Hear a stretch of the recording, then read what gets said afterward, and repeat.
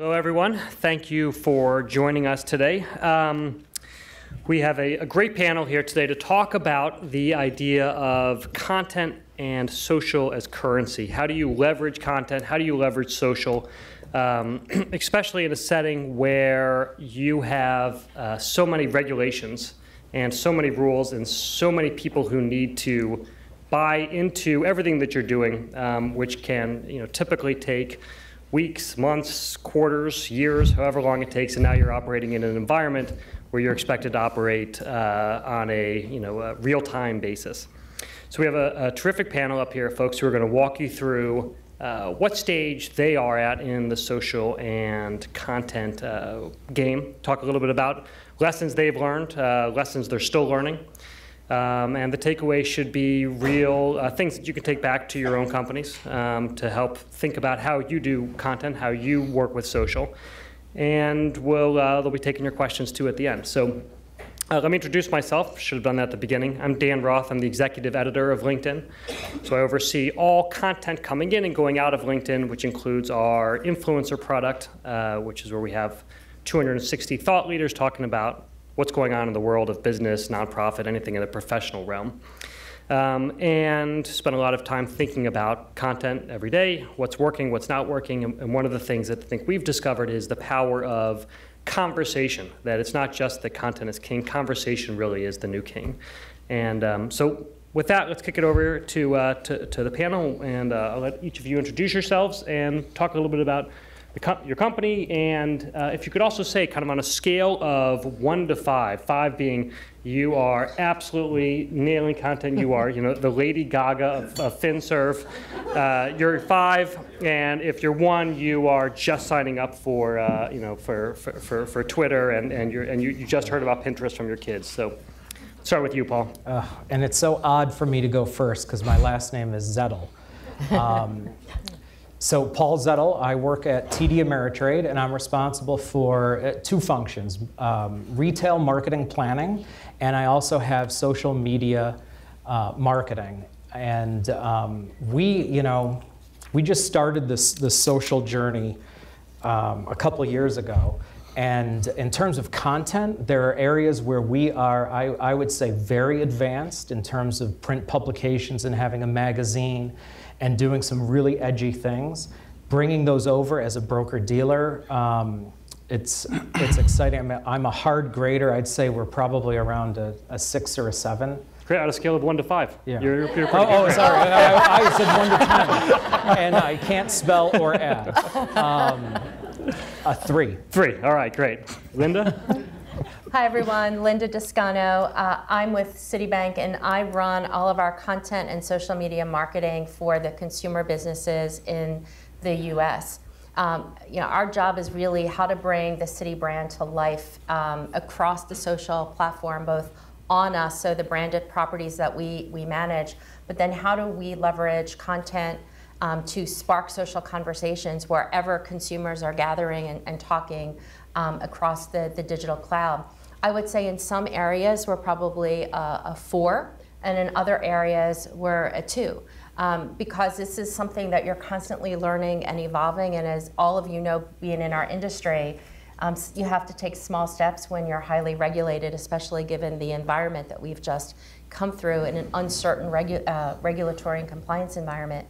But I'm really proud of some of the work we've done with women, both with our Women & Co property, which is 13 years old and has been you know, talking and get, engaging in conversation since 2000, um, but also with the sponsored group that we have on LinkedIn. I think those are just two examples, and what we're trying to do is how do we apply them to different audiences and to talk about a range of topics. Great. Hello, everybody. My name is Michael Feigenbaum. I'm actually from here from London. I work for Barclays, and they're in the Wealth Investment Management division. So um, picking up on what Linda said, it's slightly different. We look after high net worth, ultra high net worth clients with 50 million plus in, uh, in our accounts, but also we look after what we call execution only clients. Those are those that want to do brokerage so trading what we call buying ISAs and SIPPs in, in British lingo now, um, where we service them just in the online space. And it's a, it's a huge group when you think about the ultra high net worth, very sophisticated people, don't have any time whatsoever, and then the mom and pop who sit at home who, who want to engage with us uh, digitally. So for us, social media tries to span that entire spectrum and where we want to engage with them in very meaningful ways, be it talking about unlocking the female economy or talking about thought leadership pieces where it's about the correlation between playing golf and risk or thinking about the entrepreneurs, what's, what do they care about? And having, having sat in Scott Scott's session earlier from American Express on, on Open Forum, of course, I'm very intrigued and, and interested in something like that. So what have I learned? Uh, well, we're truly global. So a one size fits all doesn't work. And if I'm sitting here now in New York, the, the, the headache that I have here is slightly different than one I have when I'm back home in London. And that is regulation, compliance, etc. But if I think about our clients and colleagues in Dubai or in Singapore, it's again completely different. So trying to fit this all under one umbrella, but yet uh, ensure we do this in a, in a very meaningful way so we don't alienate clients, but we engage with them because they want to engage with us. That's what social media, in my view, is all about. They come to engage with us. They, they proactively choose to engage with us on LinkedIn and Facebook. So that's the biggest challenge we have. Great. My name is Lisa Shalett. I'm at Goldman Sachs, and I head uh, brand marketing and digital strategy.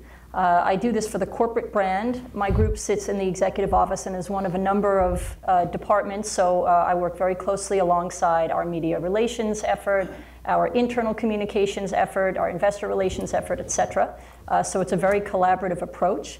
And I would say our group is more like a B2B oriented focus than it is a B2C oriented focus. But I would say that our group is very focused on the public, in, in particular as a stakeholder across a number of different stakeholders. You know, we woke up and found ourselves one day uh, the topic of a lot of conversation, which is very unusual for Goldman Sachs. We don't particularly like to put ourselves in the limelight.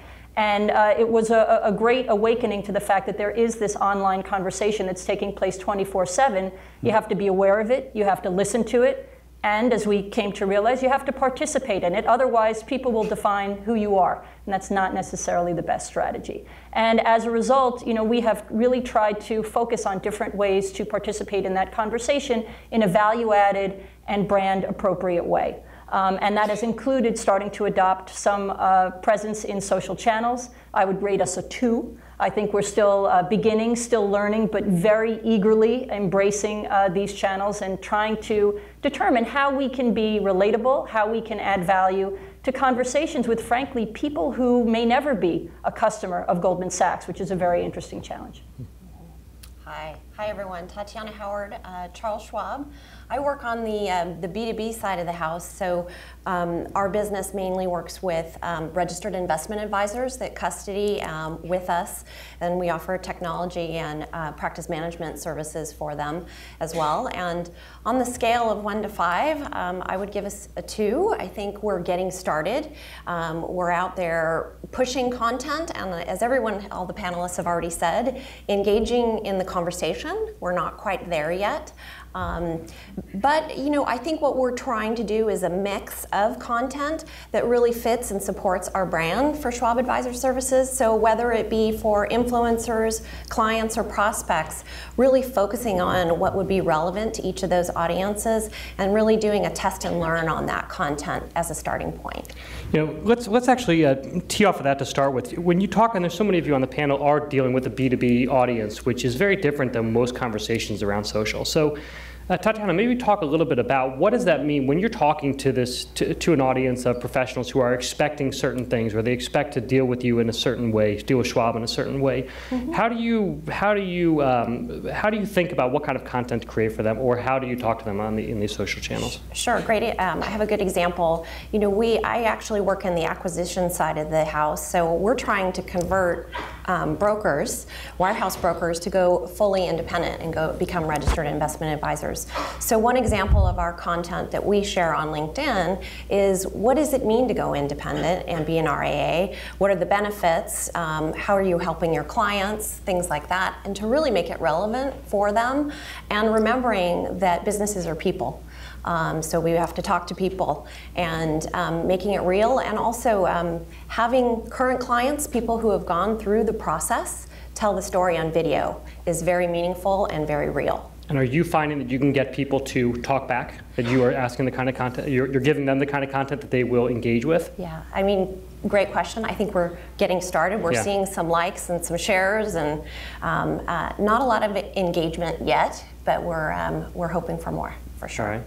Um, Michael, do you want to talk about that a little bit also? This, this B2B, why? Why reach out to B2B? What does it mean? Uh, how you think about it? Um, it, yeah, I think if I look at B2C, B2B, B2B2C, which also exists, um, I think B, B2B is, is the difficult one. Uh, and if, if I think now from, from, from my perspective, we call that our intermediaries business, where we have uh, where we deal with companies and corporates as well. And um, it really comes down to not being the company that talks to a person, and that's actually something that was on this Twitter feed outside. It's, it's, you need to talk to them as if it's a person because you, even though it's a company, it's a person. You deal with that person. You want to intrigue them. You want to provide them with content that's relevant to them. And in, in instances, sometimes it's actually not the owner of a company that we, we want to influence, but it's actually the person behind that person. Uh, and I can I can translate that into the B2C space then as well. It could be the wife who influences uh, somebody, but in this case, it could be a personal assistant or somebody in the team who is actually influencing uh, a business owner. So we want to ensure that when we deal with them uh, and when we engage with them, um, it's not us broadcasting information out, but the ultimate goal is for us to have a meaningful two-way conversation and to understand at what point do we need to take it offline. Right. Let's talk about that idea too of having a voice. You're not just reaching, you're talking about reaching out to individuals on the other side, but you're also, you have, I don't know who's doing your, your social, but these are, do you talk to the world as a bank or do you talk as individuals talking to the world? What's the strategy for the voice of, the, uh, of, of, your, of your company? At TD Ameritrade, um, so we have a couple of businesses. We have a trader business, we have a long-term investor business, and the RIA business, similar to what Tatiana described. And in the trader business, we have a, a lot more license. If you think about Jill, Jill was a professional trader. That business, um, you know, we're marketing to people like Jill who are managing their investments on their own. So we have a lot more license as a brand to infuse humor, to, to be human and um, to talk about, to simplify the technical, but still, um, still really being edgy. And we do that in our magazine called Think Money. And that translates into our experts program where we brought two influencers within the trading business where they engage in social media and they bring that edginess that comes from that side of the business and their personal um, So these are outsiders who are speaking for you. These are TD Ameritrade Ameritrade, okay. associates who are allowed to engage on Twitter in the social space. And what they've done is they've um, adopted the edginess of the, of the brand, but also infused their own personality. So, like Nicole Sherrod is a uh, head of product strategy. She talks about um, fashion. She'll talk about, um, you know, uh, you know, trade strategies and the products and capabilities, but she does it in a personal way. She'll, like when we introduce mini options, for example, her tweet would say, you know, I like my heels high and my options mini.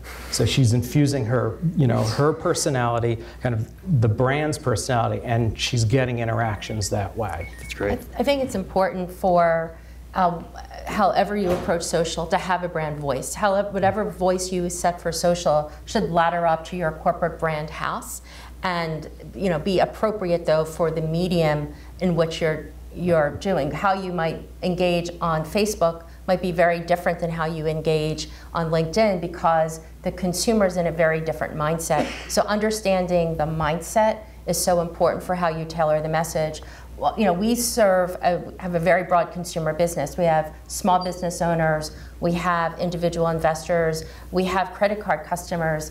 Um, my team, manages the social presence that supports that breadth of, of consumer audience. And we make sure everything is aligned to the brand and have very clear examples of what that voice is. But we also uh, write um, articles and blogs in our first person. So our employees are talking about their personal financial challenges and struggles. We feel that's incredibly important to create authentic engagement and not just hide behind a corporate logo. And each of us has, you know, who loves fashion, who may be passionate about um, volunteerism, that we bring that personality in it as just a way of showing the diversity of interest, but also to reinforce that when we come to work every day, we're dealing with the same challenges that our, our customers. You know, how are you going to pay your bills? How are you going to save for retirement? How are you going to juggle everything? And by being open and showing some of the vulnerabilities, we think that has built incredible trust and also given us more license and makes us part of the, the consumer's trust circle because they're seeing that they identify with us as individuals and that helps humanize the brand. Right. And Lisa, I think this, this is a great question. This is a, one I think a lot of people are wondering about with Goldman is how do you do that? Are you, how much do you reveal of Goldman? Goldman is always under such scrutiny and people have certain opinions about it. What, what, what, where, where, I know you guys are at a two, but what are you thinking right now? You, you know, it's, it's, it's funny to be from a, a, brand where for a long time mystique was our, one of our strongest brand assets. You know, and in, in a social world, it is um, interesting to really think about how to still maintain some of that, but at the same time add elements that are authentic, that are um, humanizing. Because if you ask the people of, of Goldman Sachs why they are so proud of being at Goldman Sachs. Often it's because of the people that they get to work with and the talent they're surrounded by and, and the way that that challenges them, et cetera. Our challenge has been how do we bring that to the outside and do that with an audience that we're not in regular contact with? It would be one thing if we were talking about communicating with our clients. We know a lot about that we, we have a lot of ability to predict what might be of interest to them, how to serve that up, et cetera. But we've had to really do a ton of research and a lot of imagining as to how we can be credible and how we can be authentic. And a lot of our content relates to explaining who we are, what we do, and why it matters, and how that ultimately is relatable to them. And so we've had to really think about how to find a voice that meets all of those criteria, but at the same time still feels like Goldman. And there are some, you know, points at which we just kind of get the hunch that, hmm, this doesn't feel like us anymore. But we keep pushing ourselves further to um, really emphasize those things. Can you talk about what, and I'd like for all of you to answer this, what you do in, as you prepare, as you go down this road, how are you uh, getting employees on board? What is the, are there policies in place first of all, how do you tell employees what they can be saying and, and, get them either to say things that you want them to say or teach them what they can say on their own? And then in a second, we'll also talk about how you get go up the ladder and get buy-in from the senior executives to believe in, in this as, as, as an idea that they need to, to get behind? Great question. So first of all, for, for the people, um, the employees, um, we have social media policies for all employees. And then if, um, for example, on LinkedIn, we're using our salespeople as brand ambassadors. So they're, they're in their own pilot program with their own policies and procedures um, that we've negotiated with um, compliance and legal. And they become, not only are they sharing our content and they're enhancing their network and really having a brand of their own, but they're also our advocate for our brand and enhancing it and amplifying it.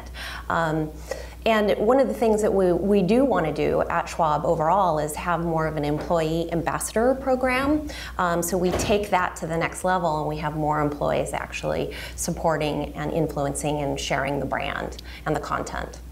Um, to answer the second part of your mm-hmm. question, um, it's interesting. Um, you know, Eileen actually mentioned about the naysayers in the organization, and she, I asked her a question: How many naysayers did you have? And you know, I think at Schwab we had we've had kind of a wave. It's like it started off, you know, real. You know, people, what is social media? You know, we don't want to be there, and then it's really kind of ramping up.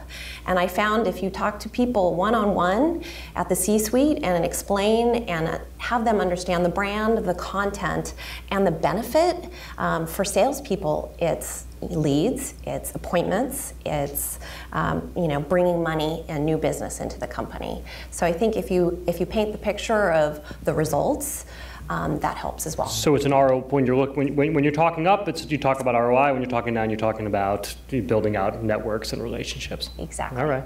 Yeah. Well, I'll, I'll just add to that, one, and I'll, I'll answer your second question first, um, because I, I, I, one of the things that is most fascinating to me, and I'm sure many of you in the audience and on the panel can relate, is you know you realize that you're you're talking to um, senior management who work you know incredibly hard, incredibly long hours, spend most of their time in the office yet they're sitting in front of you know a computer or whatever it might be that's firm issued that because of regulatory reasons will not allow them to access the very social media platforms that you're trying to get them to, to understand.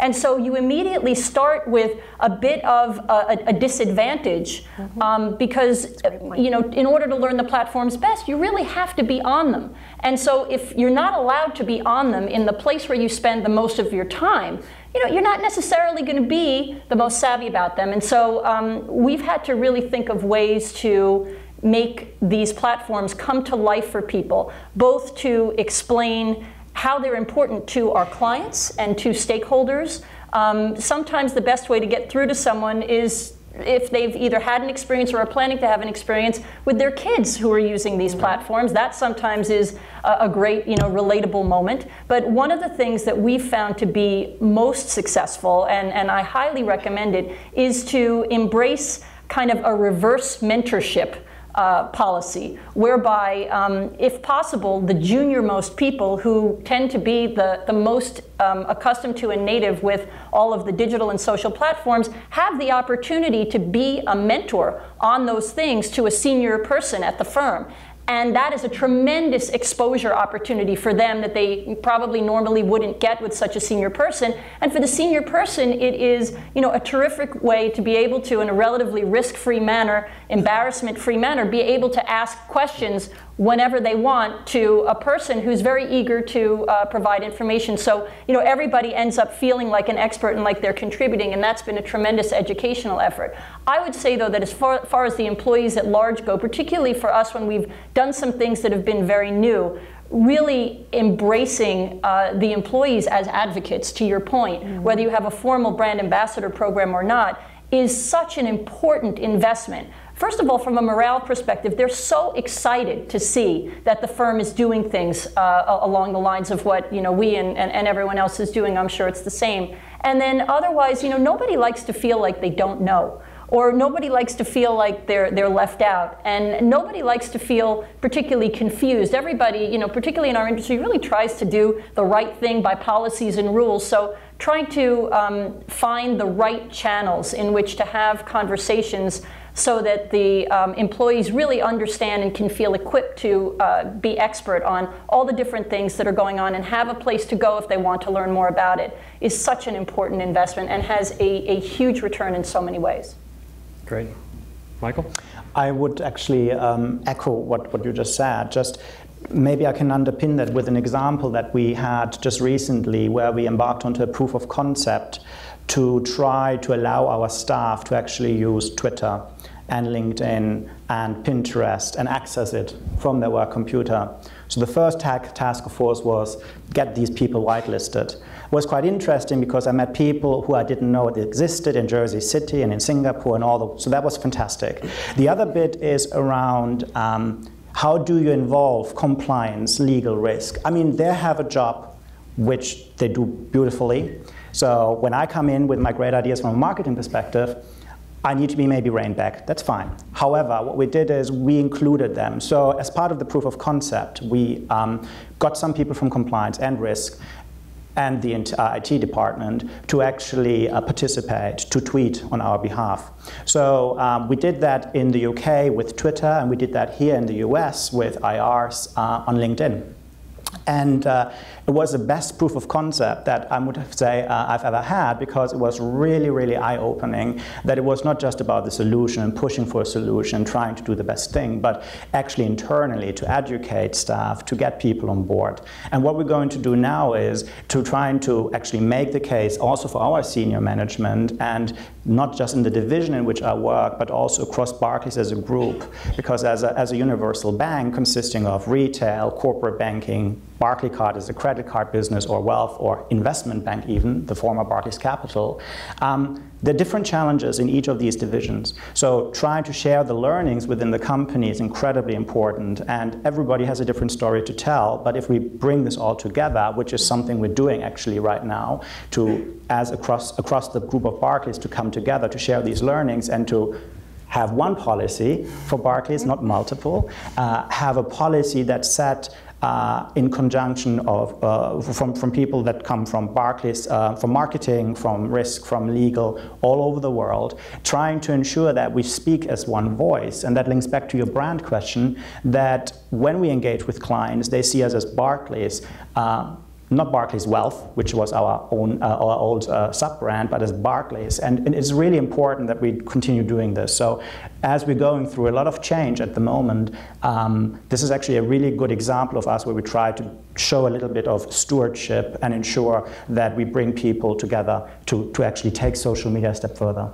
Great. Linda, I know you and I have talked about this quite a bit, but if you could walk through, uh, you know, how you got buy-in and, and, and, and what you've been doing, that'd be great. Well, like many of you, um, Citi is a very numbers-driven culture, and with uh, a, a, quite a number of senior managers who are not, for the reasons Lisa mentioned, using social on a regular basis. So for us, it was creating um, a framework and a measurement system that really translated social metrics and social language into more commonly understood um, marketing metrics and showed mm-hmm. how social could support both paid, owned, and earned tactics. So we, we you know, created this ecosystem model that showed how this is part of an overall marketing and communication plan, not something that's so different. It's just another channel, the way you might have print or broadcast, and then translate it, the reach and the awareness um, in very traditional marketing language, and that helped us. And by focusing a lot on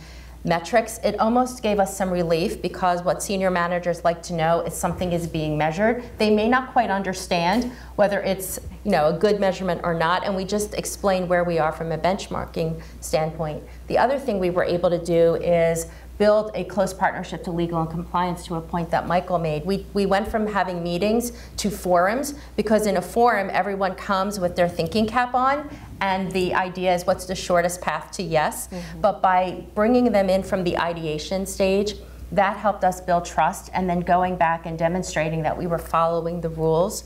And even if we do a Twitter party or a Google Hangout, they may listen in so that it's not as mysterious and use them as advocates.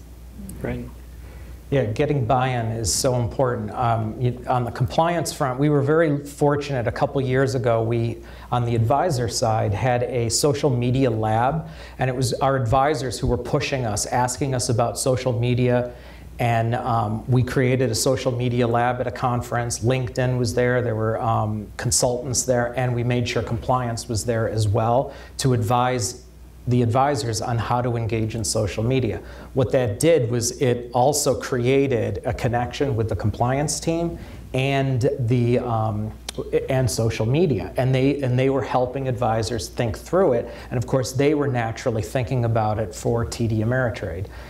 At the um, at the senior levels, there were two key executives running businesses who were also passionate about social media for their business. One was the advisor had, and the other was uh, the guy responsible for the trader business. So it's, it's also making sure, for me, it was aligning with them and testing some things in their business so that I had advocacy at the top. And then also for the CEO, it's about, you know, he, his job is to look forward. So he understands the, the demographics, he understands the trends. So he got it, even though he wasn't engaging in it and it really helped.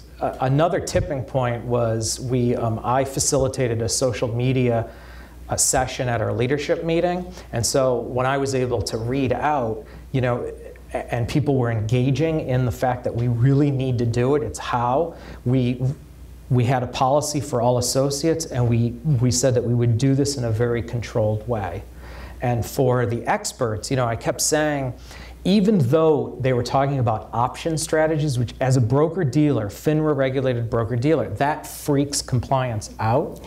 It, it, freaks me out. You know, I, am not a, uh, a, a, complex, you know, options or derivatives trader, but the um, you know, I, I, kept saying, you let them talk on CNBC. They know they're wired as registered reps mm-hmm. who are industry professionals. They know how to talk about a market dynamic and the implications of, you know, of a trade strategy without giving advice. What makes you think that when they go to the keyboard, that the hard wiring of their, you know, 20-year career is going to somehow change? Marketing will give them guidelines, but you know, we've um, and, it, and, it, really worked to kind of tell that story and to roll it out in a very controlled way. What was compliance's answer to that question, CNBC versus you know social? They, they, they had to think about it, yeah. and um, you know they're like, okay, we know that that. Um, you know, they're just going to have to work with us. So it, it reframed to not a no. It, it was okay, let, we're going to help you and um, give guidelines and things like that. It's not perfect. There's still times when I, I look at things and I'm a little, uh, you know, like uh, freaked out about it, but we're, um, you know, we're, we're working on training these experts and rolling out in a very controlled way with compliance engaged in the process. And I think to a point you made, I think what compliance is often concerned about in social is that it feels like it's in perpetuity rather when, than when you're on TV or radio. However, what they forget is today, if you're on radio or TV, generally, right, the links are being put on that channel's website, right. so it really is, is no different. And that's part of what you have to remind them of. Yep. I, I, just wanted to share one other thing um, that, that might be useful uh, for others as well. You know, one of the biggest challenges in um, trying to propose doing something new, whether it's uh, you know establishing a presence on a platform for the first time or taking the next step and actually trying to have a dialogue on a platform that you might have a presence on, uh, is you know it's so easy to think about maybe the the ten reasons as to why doing any of those things would be risky. Everyone's really good at coming up with that list of risks and can come up with them relatively quickly. It's a robust list. And one of the things that um, my team and I found was that we weren't really conveying and encouraging uh, people we were trying to get buy-in from to think about the risk of not doing something. Because, you know, if there's a conversation about you that's taking place and you decide not to have a presence, guess what? That's a risk too.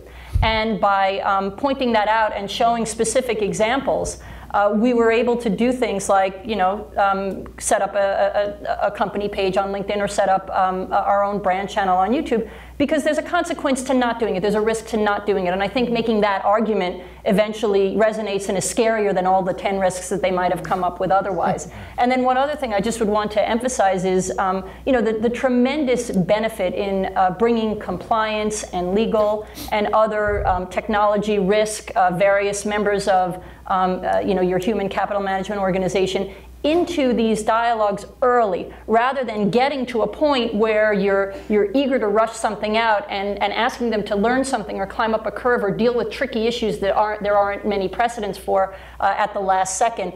I'm very lucky because I happen to have been, before taking on this role, the Chief Operating Officer of Legal Compliance and Audit at Goldman Sachs. and so who knew? You know, who would have thought that uh, these two roles would be so relevant, but never has there been a time when they're more relevant. So it was very easy for me to gather people who already knew me well, who trusted me, and um, we all thought it would be fun to work together and establish a working group where we're all learning together, where they're involved at the very beginning of the process, and, and thus we can all get to a comfort level together. And so there's a tremendous benefit to uh, in inviting them in as partners early on. That's great. I would just I would echo that. We um, we recently did a social media summit where we got legal compliance, all the channel owners together ac across the company to really talk through key issues. And an example would be sharing third-party content. How are we going to tackle this across the company and have one policy and really move forward. And I think uh, uh, to all of you, I think getting everybody together is key and building that trust. Um, and then on the, on, I wanted to echo what you said on the, um, if you don't do it, I mean, it's your brand. You have to be relevant in the social space. You have to be up on YouTube and LinkedIn, and you're missing the boat. You know, competitors are Paul down there is uh, take all our business. um, that's terrific. I, you know, I want to make sure we have time for, for, for questions. So if there, if you have any, raise your hand, and we will walk around with microphones. And if you could identify yourself before you ask your question, that'd be great. We have a question right up here in the front. You want to go ahead? Yeah. Uh, Patrick Baines with People What, what do you say to the regulators or the compliance team when, or anyone when they say it's, it's already happening, right? So they're already on LinkedIn or they're already on social. Uh, what do you? What's your like commentary on that?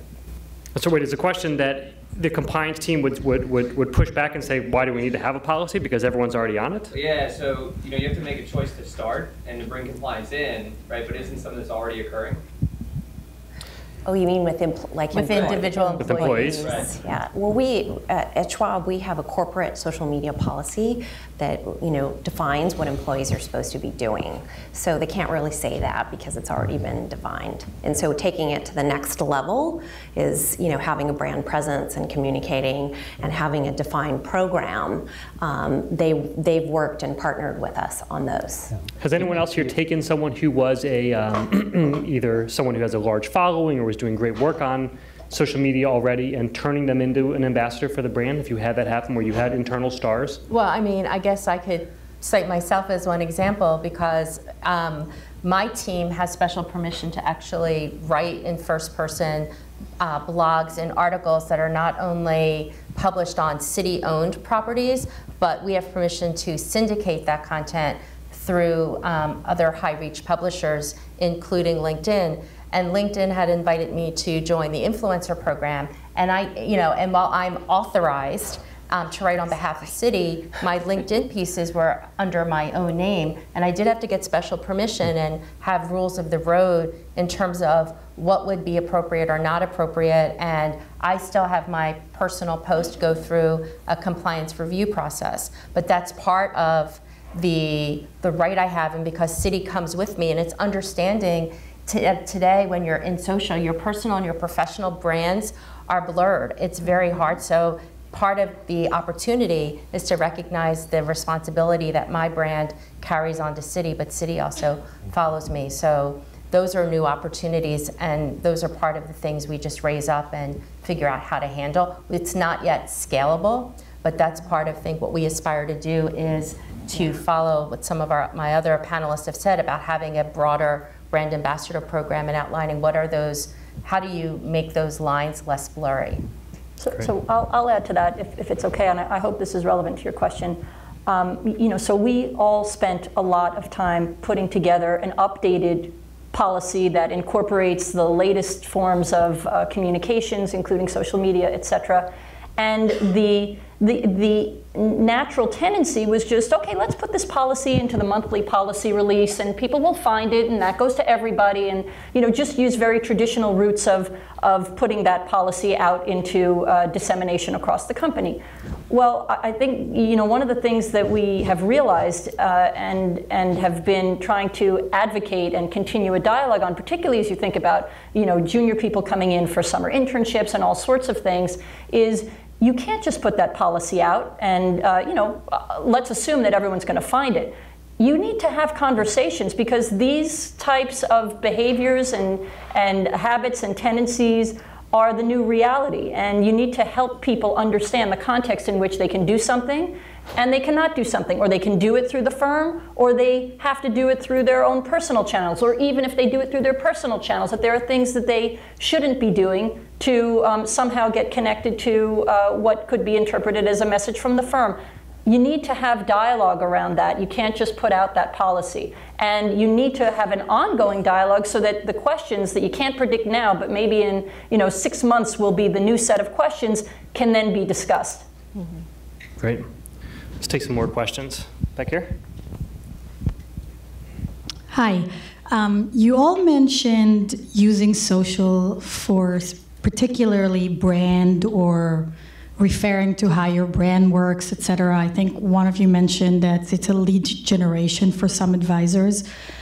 Are there any additional metrics or usages that you see for social other than um, addressing more of the brand of the company? And would love to hear how you guys are doing it. Paul? So our, um, our, what's core to our social strategy is to inspire and educate investors or traders to become better. And um, the, part of the, the heart of the, the social media strategy is to take the great content that already exists and bring that into social so it gets out more broadly. we still struggle with connecting followers and you know, um, to assets and accounts. But when we're communicating to, taking the content and communicating it to clients, we look, we can actually see that there is trade lift and accounts and assets, and that's what we zero in on to to kind of prove the ROI. But it's still. Uh, it, it, um, as it relates to taking the content and relaying it to clients and then tying it that way. This is exactly why we hired an agency to really help figure out the social piece to accounts and assets. And if anyone has figured that out, please see me. That's why I'm asking. Yeah. We're trying Michael, to. I'd actually be curious what your what your experience has been on this. Um, Are you asking me? I'm no, sorry. sorry, asking Michael. Oh, so, Uh, sorry, sorry. So it- it's an interesting one. So we Yeah. try to do exactly what Paul is doing, but um, I, I would still say if I were to look at it as a maturity curve, where are we on that particular curve? We're neither there, we're hopefully not there anymore. So I still see us as early adopters trying to be a little bit disruptive, try to experiment. Um, so a key metric for us is something which um, we came up with is try to plot what content do we have out there, be it our blogs, our Twitter feeds, be it our Facebook pages, LinkedIn profiles, uh, Pinterest, etc., etc. And we also try to understand what's the connection in, within this ecosystem between them. So how can we then go back to our uh, flagship website. So how can we follow traffic back to there? How can we follow, how, how do people consume our content? And how can we see um, how strong connections are? So for instance, we have a publica- publication called Insights, which is thought leadership for, for high net worth clients, uh, where we see a very strong relationship between our website as well as that particular uh, piece of content that we, we, we use predominantly now also on, on um, in, in collateral, of course, but also on, on LinkedIn. And it is quite ins- uh, insightful for us to actually now understand the behavior a little bit as how do our clients and customers want to consume our content. So while that is the ultimate goal for us, absolutely, we are still at that stage right now where we're trying to understand. We've got this wealth of content out there. Um, white papers, all that stuff, research, fantastic stuff. Um, when we try and, does it make sense to just digitalize it? I don't know. And if we do it, do we do it in, in other ways? And if I can give you an example of how we try to uh, understand this ecosystem, we had um, last year an event called Open Outcry, where we tried to um, educate our clients about the concept of trading. So it was an opera. We invited actors and, of course, our head of behavioral finance to the London uh, Stock Exchange, um, and we mimicked that whole behavior. Well, They were singing trades, and the, the actors were actually paid on the success at the end, which was also quite interesting.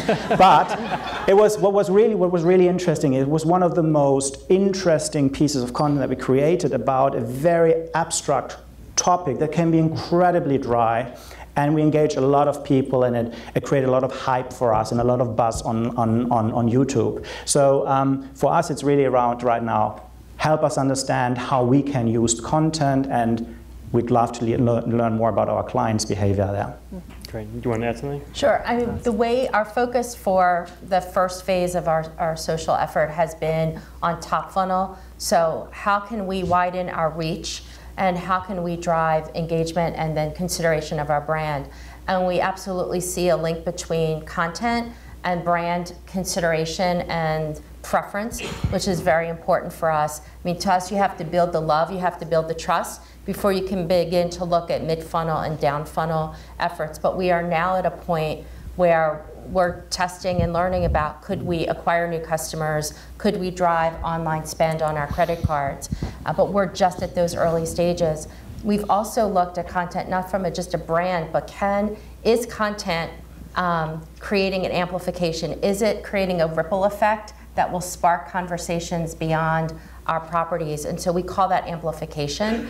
And we have found over the past year a tremendous extension of reach through content marketing because of sharing, because it's also seeding new content created by bloggers and other influencers that are carrying our key messages to even broader audiences. So it, you know, if we have a very constrained paid media budget, this is really supporting that same reach, um, which is has been powerful. Great. I was just going to add for, for our salespeople, they're actually tracking prospect connections, appointments, dollars in the door. So that's one of the, I mean, it's very narrow for sales. And, you know, I would agree with all of my panelists on the brand and all of the engagement. But for salespeople, it's bringing in new business. Great. And we do track that. We have time, I think, for about two more questions. Let's see. Go ahead. You can just, I'll, I'll repeat it. You can just you say it out loud. Now you all have established social media, pre- thank you. Uh, Andrew Jenkins from our company. Now that you all have established social media presence, I'm wondering if you can speak to how your content strategy might help you mitigate or counter any reputational management issues. All right, so how do you use social to stop your, to stop and advance your, your, broader content uh, strategy, how do you use it to help you mitigate or counter any reputational issues that might arise? all right, anyone want to take on that one? No? Well, do uh, I mean, I think what we've tried to do with content is really go, it, it goes back to the, the customer and consumers. What are some of the pain points uh, in their everyday financial lives? What are the topics that are of concern to them?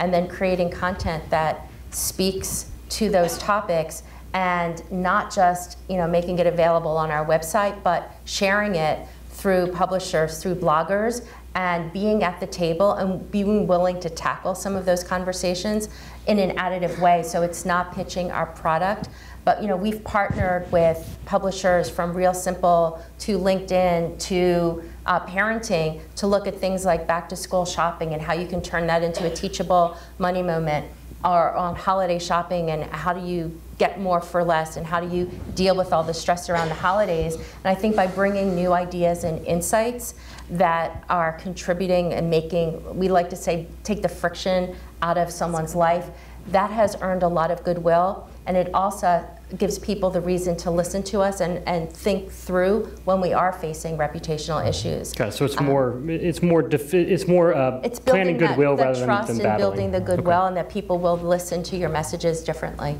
Great. Go in the back here. Hi, um, I just feel as though I need to clarify something. Uh, Earlier, it was said that um, they were comparing uh, written communications with um, uh, public appearances, like on CNBC or something. They're not the same.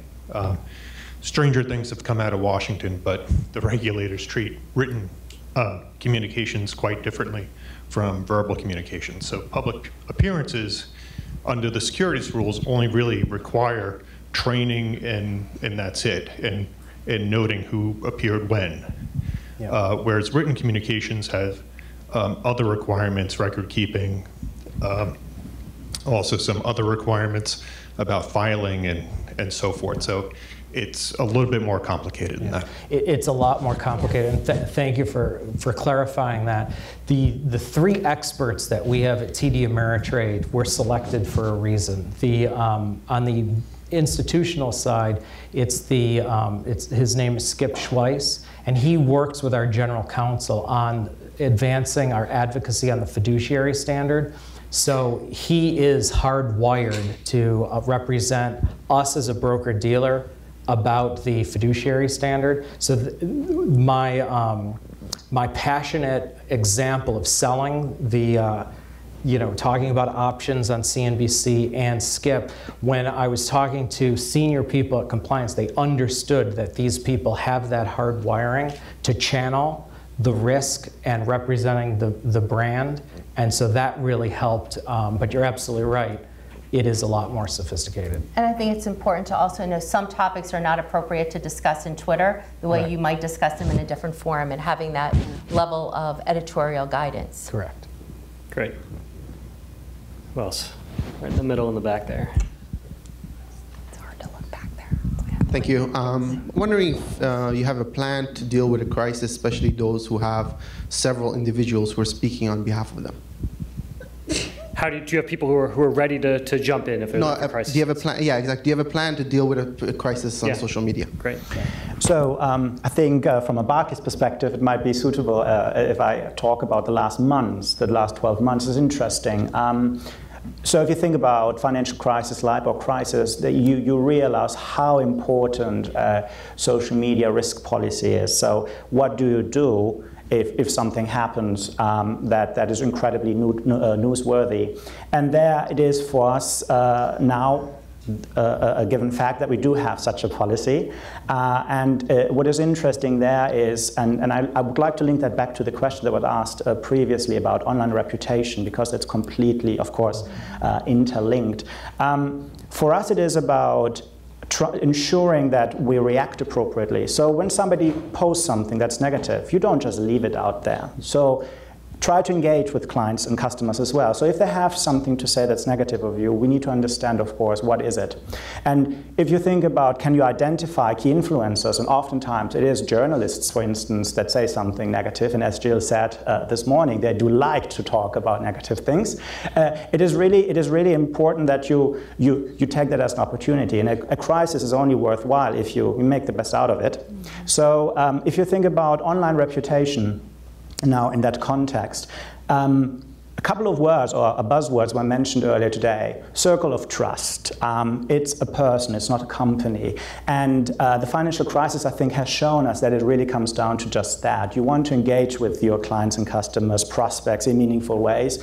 And depending on their level of sophistication, where they are in the life stage, um, they want to, you know, do business with a company or a bank that shares values with them. So if you react appropriately and you do something wrong, you admit it and you talk about it in a meaningful way. and you pull in the people that you need to pull in to actually address that. So from, from our perspective, it is incredibly interesting and important. And um, if I think now about wealth investment management, where I sit, uh, given the, this huge uh, spectrum of clients and customers, it's incredibly important that, that we, that we uh, adhere to this policy and that we do this. And it's really ingrained in everybody, at least in my team who manages social media, that uh, we're very proactive. And if there's a negative post, then of course we react appropriately and we need to take it offline if we need to take it offline.